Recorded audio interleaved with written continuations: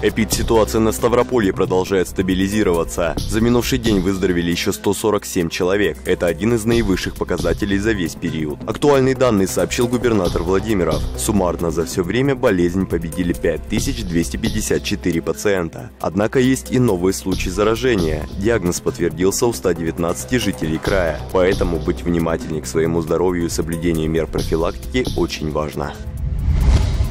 В Ставрополе завершается строительство детского сада на улице Тюльпановой. Он рассчитан на 280 малышей. В двухэтажном здании уже обустраивают игровые площадки для детей разных возрастов. В дошкольном учреждении будет бассейн, музыкальные и спортивные залы. Работы ведутся в рамках нацпроекта «Демография». На эти цели с федерального и краевого бюджета выделено 255 миллионов рублей предгорном районе ремонтируют три медучреждения. Работы идут в Нежинской врачебной амбулатории, Бекешевской и Ютской участковых больницах. В последних двух зданиях реконструкция на стадии завершения. Там установили новые окна и двери, привели в порядок кровлю. В Нежинской амбулатории строители отштукатурили стены и покрыли полы плиткой. Работы идут под эгидой программы развития здравоохранения.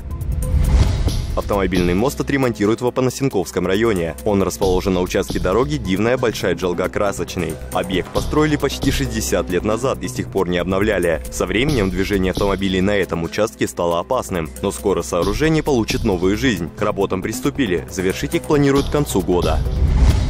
Ясельный корпус детского сада строят в селе Александровском. Он сможет принять 55 малышей. В здании оборудуют раздевалки, буфетные комнаты, спальни, музыкальные и спортивные залы. Дополнительно на территории учреждения обустроят новые игровые и групповые площадки. Работы ведутся по нацпроекту «Демография».